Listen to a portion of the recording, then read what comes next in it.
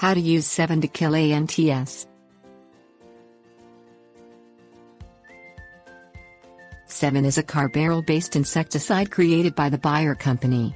A powder is used widely for outdoor pest control, and is especially effective against ants in your yard. Though some ants are beneficial, an excessively large ant population can kill your garden plants. Some types, such as fire ants, may even cause physical discomfort to humans. Use Sevin Dust to kill ants to protect both you and your garden.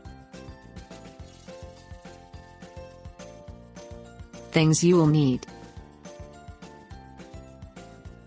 Gloves, Face mask, Sevin Dust. Put on protective gloves and a face mask to guard against touching and inhaling the Sevin product.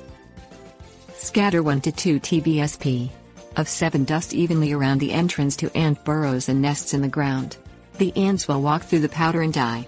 Some ants will also carry the product within the nest, poisoning the entire ant population.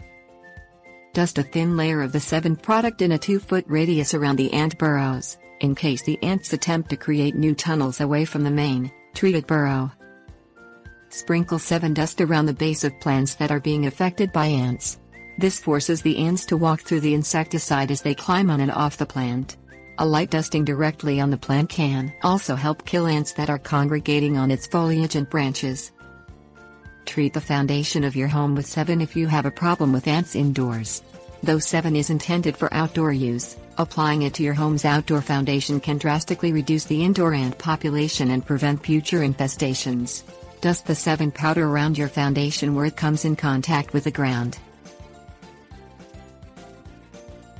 Tips Warnings Sevin also kills beneficial insects, such as honeybees. Try to avoid applying the powder to flower plants. If you must apply Sevin, dust the plant in the evening when honeybees are not active.